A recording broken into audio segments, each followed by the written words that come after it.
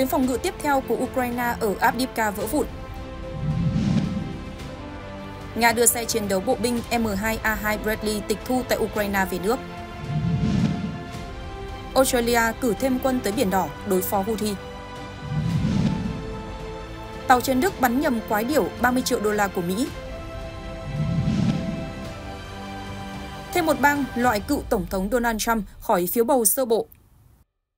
Xin kính chào quý vị và các bạn đã quay trở lại với chương trình tin tức quốc tế trên kênh youtube Báo Lao động. Vừa rồi là những nội dung chính sẽ có trong chương trình, còn bây giờ là phần tin chi tiết. Mở đầu bản tin sẽ là những thông tin mới nhất về tình hình chiến sự giữa Nga và Ukraine. Kênh Military Summary đưa tin, Ukraine sụp đổ hoàn toàn ở mặt trận Abdivka khi Nga tiếp tục giành chiến thắng ở Oloka. Trước sức ép liên tục của đối phương, lực lượng Kiev buộc phải tháo chạy, bỏ lại thành trì Oloka. Tuy nhiên đây không phải là kết thúc. Rõ ràng là không ai có thể đưa ra câu trả lời chính xác về việc Kiev sẽ có thể ngăn chặn bước tiến của Moscow ở đâu. Trong khi đó, kênh John Story lại ghi nhận bước tiến lớn hơn của Nga khi thông báo họ đã chiếm giữ hoàn toàn các làng Oloka, Tonenke và Berdichi ở phía tây Abdivka. Cứ điểm duy nhất còn lại trên phòng tuyến thứ hai là Semenkoye, kẹp ở giữa dường như sẽ tự sụp đổ. Kênh German cũng xác nhận Nga tiến rất nhanh và chiếm lĩnh cả ba làng nói trên. Kiev thực sự vỡ trận, không thể giữ được phòng tuyến lâm thời. Phía sau phòng tuyến này là một khu vực trống trải kéo dài chừng 15 km về phía tây và hầu như không có khu định cư nào lớn. Rất thuận lợi để Nga giành thêm quyền kiểm soát một vùng tương đối rộng lớn cho tới khi bị chặn lại bởi yếu tố tự nhiên là một con sông và hồ lớn. Chuyên gia quốc phòng Yuri Podolyaka nhận định, ở phía tây Abdivka, lực lượng Kiev đang nhanh chóng xây dựng tuyến phòng thủ mới. Nhiệm vụ của họ là vừa rút chạy vừa tổ chức phòng ngự lâm thời để kìm chân cuộc tấn công của Nga nhằm câu giờ. Quân Ukraine không thể giữ phòng tuyến Berdichi, Oloka, Tonenkoye. Rất có thể mặt trận sẽ chạy dọc theo tuyến Ocheretino, Kurachovo. Một đoàn tàu chở các thiết bị quân sự Nga thu được tại Ukraine chạy hướng về thủ đô Moscow đã được nhìn thấy. Đáng chú ý trong số này có xe chiến đấu bộ binh M2A2 Bradley của Mỹ cấp cho Kiev. Ảnh đăng trên mạng xã hội cho thấy nhiều người dân Nga tiếp cận xe chiến đấu bộ binh M2A2 Bradley của Ukraine nằm trên một toa tàu hỏa. Một tài khoản ủng hộ quân đội Nga nói rằng đây là chiến lợi phẩm được đưa tới thủ đô Moscow. Chưa rõ đây có phải xe M2A2 Bradley bị Nga tịch thu trong trạng thái gần như nguyên vẹn gần thành phố Abdivka hồi tháng 11 năm 2023 hay không. Cây bút Joseph Chevetic viết trên chuyên trang quân sự War Zone của Mỹ. Đây không phải lần đầu khí tài quân sự Ukraine trở thành biểu tượng tuyên truyền của Nga. Nhưng việc trưng bày xác thiết giáp Bradley sẽ mang nhiều ý nghĩa khi loại xe này từng thể hiện giá trị trong quá trình phục vụ quân đội Ukraine. Ngoài giá trị tuyên truyền, có một số dấu hiệu cho thấy chiếc M2A2 Bradley bị tịch thu đã được quân đội Nga phân tích. Các lỗ thủng trên sườn xe được chú thích kèm tên loại đạn xuyên giáp bắn từ pháo 2A42 cỡ nòng 30mm của Nga nhưng chưa rõ đây là thiệt hại trong chiến đấu hay thử nghiệm tại thao trường. Các khối giáp phản ứng nổ Brad và đệm cao su trên xích xe cũng được tháo bỏ. Xe chiến đấu bộ binh M2 Bradley đi vào biên chế quân đội Mỹ vào năm 1981 và ngay lập tức trở nên nổi tiếng bởi khả năng thị uy trên chiến trường. Hiện nay phiên bản phổ biến nhất là M2A2 Bradley.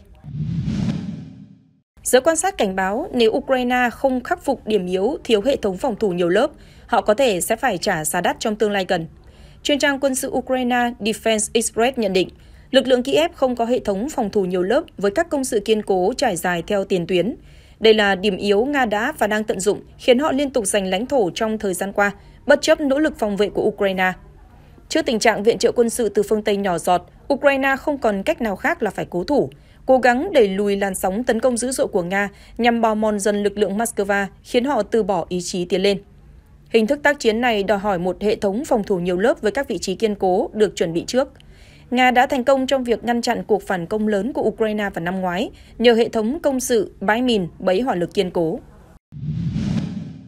Sau bài phát biểu thu hút sự quan tâm của dư luận của Tổng thống Pháp Emmanuel Macron về vấn đề hỗ trợ Ukraine, lãnh đạo các quốc gia như Cộng hòa Séc, Ba Lan, Slovakia, Hungary, Anh, Đức đã lên tiếng khẳng định không có kế hoạch đưa quân tới Ukraine – Tổng thư ký NATO Jens Stoltenberg cho biết các đồng minh của NATO đang cung cấp sự hỗ trợ chưa từng có cho Ukraine.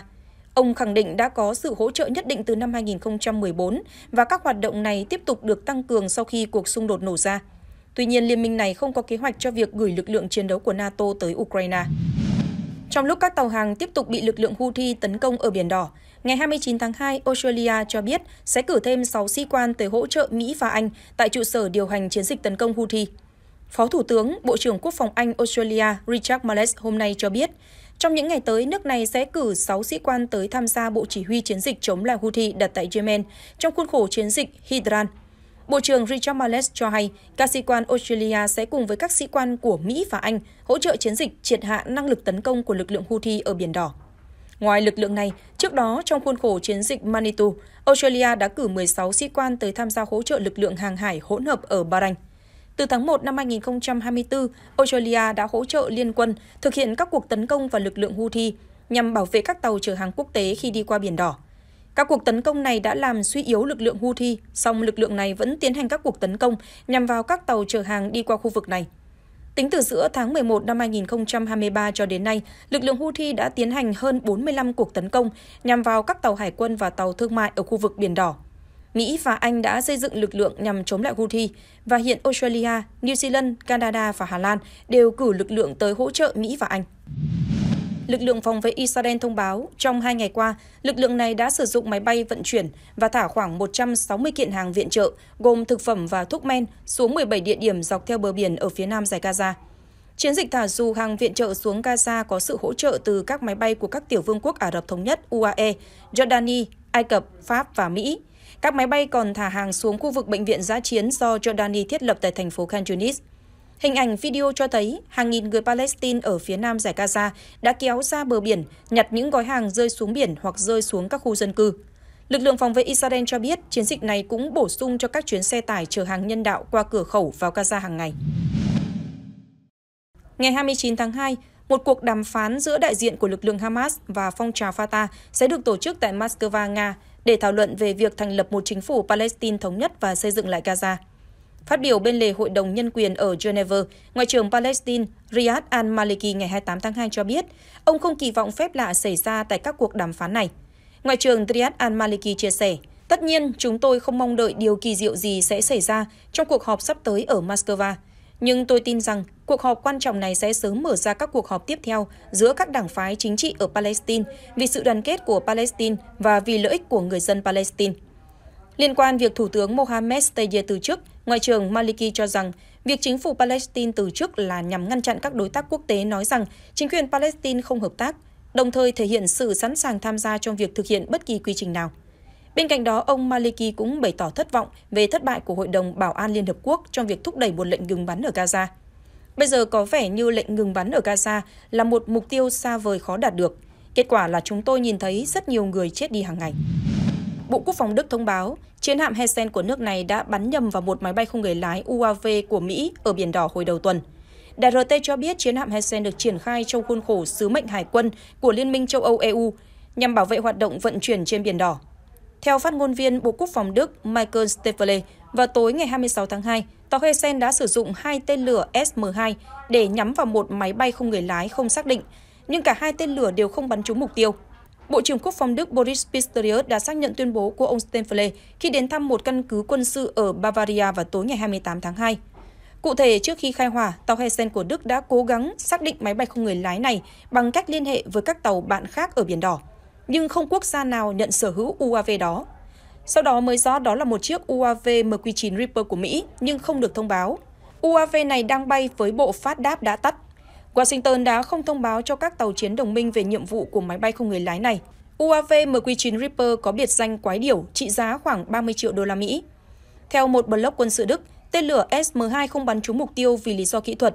Mỹ và một số đồng minh đã điều tàu chiến tới Biển Đỏ và Vịnh Aden nhằm ngăn chặn lực lượng Houthi ở Yemen tấn công tàu thuyền liên quan Israel dọc theo tuyến hàng hải quan trọng này. Một thẩm phán bang Illinois ngày 28 tháng 2 đã ra phán quyết loại cựu Tổng thống Donald Trump khỏi danh sách ứng cử viên trong cuộc bầu cử sơ bộ của Đảng Cộng Hòa. Thẩm phán quận Cook, bà Tracy Porter đứng về phía các cử tri Illinois, cho rằng nên loại tên ông Donald Trump khỏi phiếu bầu sơ bộ diễn ra tại bang này vào ngày 19 tháng 3 và cuộc bầu cử tổng thống vào ngày 5 tháng 11 do ông đã vi phạm điều khoản chống đổi dậy trong tu chính án thứ 14 của Hiến pháp Mỹ. Mặc dù vậy, ông Donald Trump vẫn có quyền kháng cáo phán quyết của thẩm phán Jesse Porter và Tòa án tối cao Mỹ sẽ là nơi đưa ra phán quyết cuối cùng về vấn đề liên quan quyết định này. Nhóm vận động Free Speech for People đi đầu trong nỗ lực loại ông Trump khỏi cuộc bầu cử sơ bộ của Đảng Cộng hòa tại bang Illinois, gọi phán quyết này là một chiến thắng lịch sử. Người phát ngôn chiến dịch tranh cử của ông Trump tuyên bố đây là một phán quyết vi hiến và sẽ kháng cáo. Trước đó, bang Colorado và Maine đã loại ông Trump khỏi phiếu bầu sơ bộ theo mục 3 của tu chính án thứ 14 của Hiến pháp Mỹ. Theo bình luận của kênh CNN ngày 28 tháng 2, bất chấp những thay đổi gần đây trong lập trường và một số cuộc thảo luận kéo dài về lệnh ngừng bắn sắp xảy ra, Tổng thống Joe Biden và chính quyền Mỹ vẫn ủng hộ chiến dịch tấn công Gaza của Israel. Theo cơ quan y tế do Hamas điều hành, cho đến nay hơn 29.000 người Palestine đã thiệt mạng ở Gaza. Khi số dân thường thiệt mạng tiếp tục gia tăng, áp lực buộc Tổng thống Biden phải công khai thúc đẩy lệnh ngừng bắn cũng ngày càng gia tăng. Trong thời gian chuẩn bị cho cuộc bầu cử sơ bộ, một liên minh có tên Listen to Michigan – Hãy lắng nghe Michigan đã kêu gọi các cử tri Đảng Dân Chủ bỏ phiếu không cam kết để gửi một thông điệp tới Nhà Trắng rằng những gì xảy ra trong những ngày và tuần tới có thể ảnh hưởng đến cuộc tổng tuyển cử diễn ra vào tháng 11 tới. Ngay sau khi các điểm bỏ phiếu đóng cửa vào tối ngày 27 tháng 2, 16% cử tri của Đảng Dân Chủ ở bang quan trọng này đã bỏ phiếu không cam kết thay vì ủng hộ ông Biden.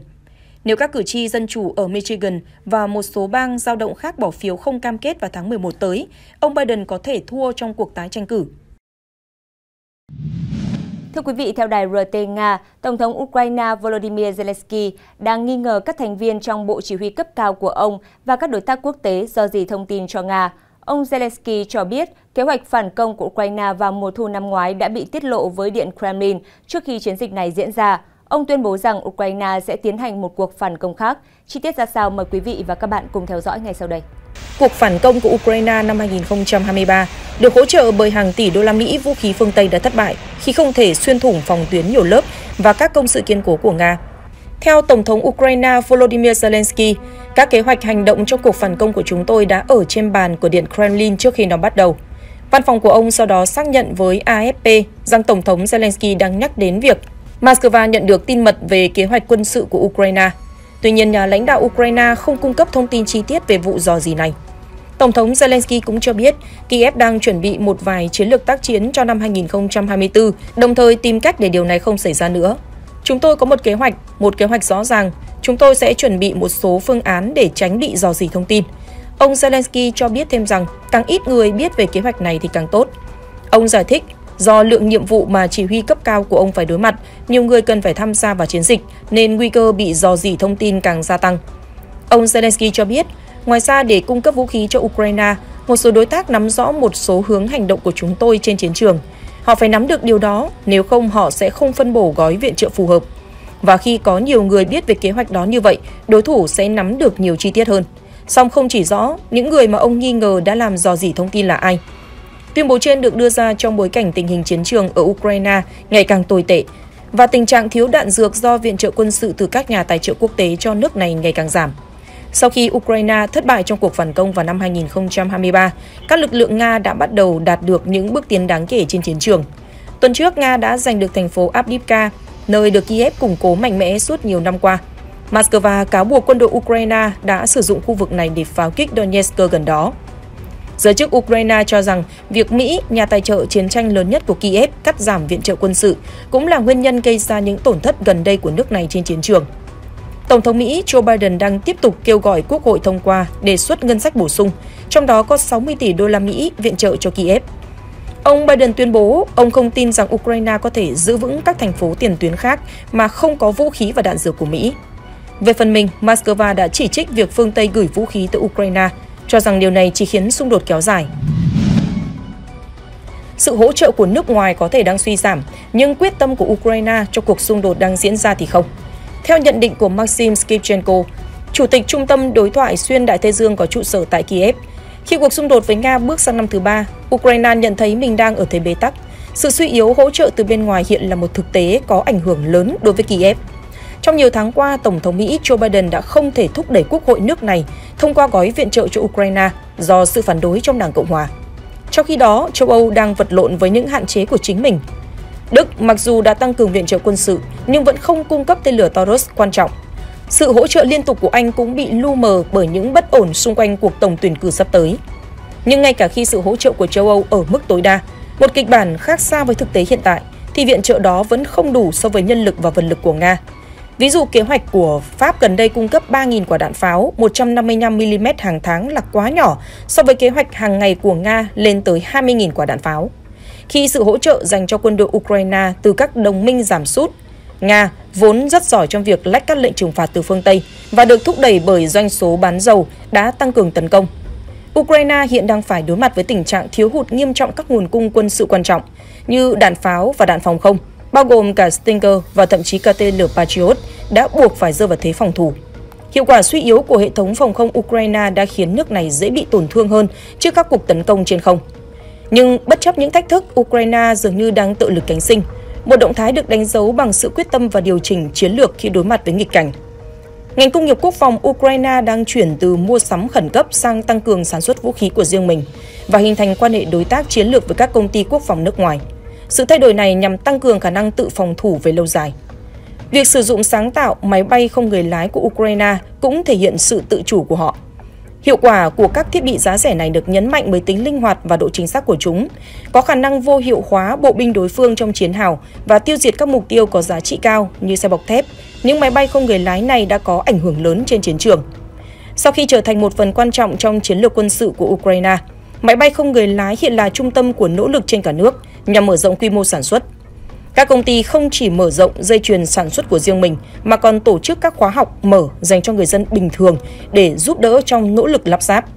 Trên cơ sở đó, Ukraine đặt mục tiêu sản xuất ít nhất 1 triệu máy bay không người lái như vậy trong năm 2024. Việc mở rộng quy mô sản xuất cũng giúp giảm giá thành của mỗi chiếc máy bay không người lái từ 400 đô la Mỹ xuống còn 350 đô la Mỹ. Để so sánh, máy bay không người lái cảm tử của Mỹ Switchblade 300 có thể có giá cao hơn 12 lần so với máy bay không người lái cỡ nhỏ do Ukraine sản xuất. Việc tự cung tự cấp của Ukraine còn mở rộng sang sản xuất vũ khí hạng nặng. Trong đó có đơn vị pháo tự hành 2S-22 Bogdana là một ví dụ điển hình. Ít nhất 30 khẩu Bogdana đã được sản xuất trong thời chiến. Tổng cộng có 25 doanh nghiệp và khoảng 400 chuyên gia tham gia sản xuất Bogdana. Việc mở rộng quy mô sản xuất loại pháo này là rất quan trọng vì các đồng minh của Ukraine chưa thể cung cấp đủ đạn pháo 155mm để đáp ứng nhu cầu của nước này. Sản xuất hàng loạt cũng làm giảm đáng kể chi phí. Ukraine cũng đã tìm cách thiết lập nhiều chương trình hợp tác quốc phòng khác nhau với các đồng minh. Một ví dụ là sự hợp tác với Flashberger Frambergau Gestra của Đức.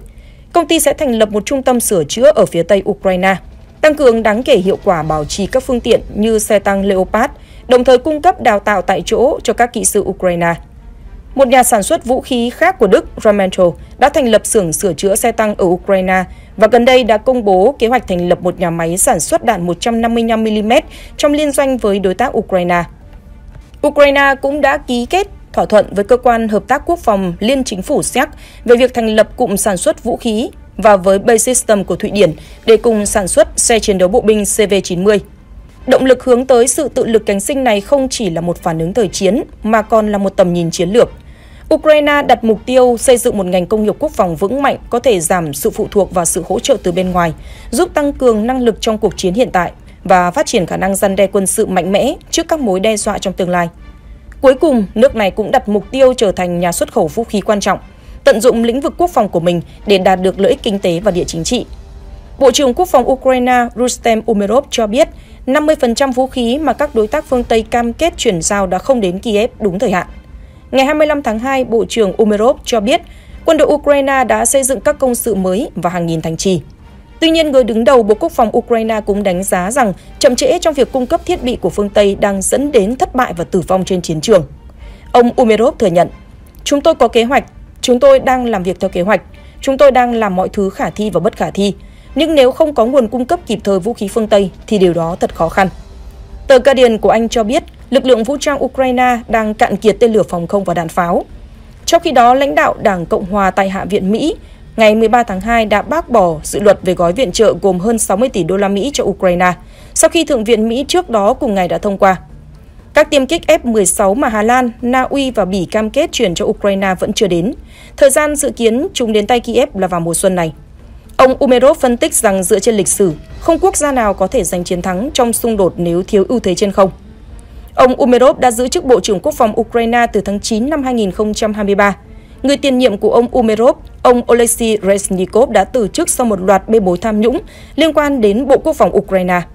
Ông Umerov nhấn mạnh, Đối với tôi, tham nhũng trong thời chiến còn tệ hơn cả khủng bố. Umerov cho biết đồng nghiệp của ông đang phối hợp với các bộ ngành liên quan để thực hiện các biện pháp nhằm xóa bỏ các con đường tham nhũng. Ông Umerov bổ sung rằng Ukraine đã tăng cường đáng kể quy mô sản xuất máy bay không người lái và chế tạo phiên bản máy bay không người lái Lancet của riêng mình. Theo Bộ trưởng Quốc phòng Ukraine, nước này cũng sản xuất các mẫu máy bay không người lái có khả năng bay 804 km để tấn công các mục tiêu chiến lược sâu bên trong nước Nga. Những thông tin vừa rồi cũng đã khép lại chương trình ngày hôm nay của chúng tôi. Cảm ơn quý vị đã quan tâm theo dõi. Xin kính chào và hẹn gặp lại.